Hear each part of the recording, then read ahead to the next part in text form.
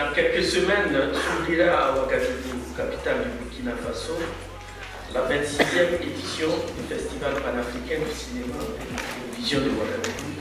En février prochain, donc, le FESPACO aura 50 ans. 50 ans, c'est l'âge d'or. L'âge d'or qui nous interpelle sur notre passé, sur notre devenir,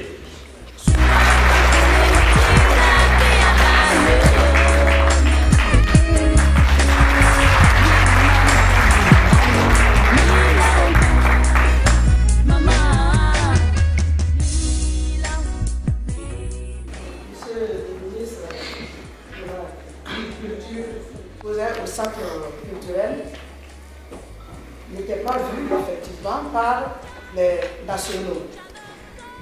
Il a donc euh, décidé de réunir un groupe d'amis et de personnes proches du cinéma afin de voir comment faire profiter le public africain, en l'occurrence le public voltaïque,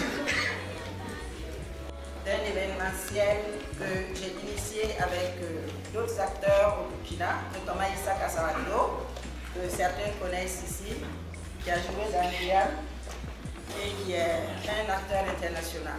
Alors donc l'objectif de ma présence justement c'est de vous faire part de cet événementiel au prochain festival. Il y a plus d'une vingtaine de festivals qui m'ont signé. Donc j'aurais bien aimé savoir si euh, c'est quelque chose qui, euh, comment dire, euh, qui vous questionne suite à tous les événements MeToo et si euh, vous réfléchissez ou si vous êtes intéressé pour signer cette charte. Et auquel cas, n'hésitez pas à venir me voir, je suis à votre disposition.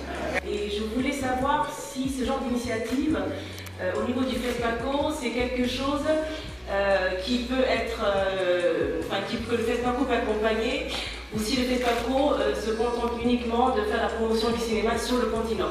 Est-ce qu'aller à l'international euh, pour fédérer ce genre de projet euh, peut être intéressant? De réfléchir sur les problématiques euh, de développement du cinéma sur notre continent.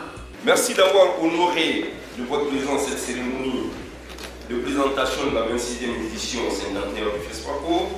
La 26e édition cinquantenaire du FESPACO se déroulera du 23 février au 2 mars 2019 sous le thème Confronter notre mémoire et forger l'avenir d'un cinéma panafricain dans son essence, son économie et sa diversité. Avec comme pays invité d'honneur la République du Rwanda. Ceux qui viendront au FESPACO viendront dans la paix, ils séjourneront dans la sécurité, ils regagneront leur pays respectif dans la sécurité.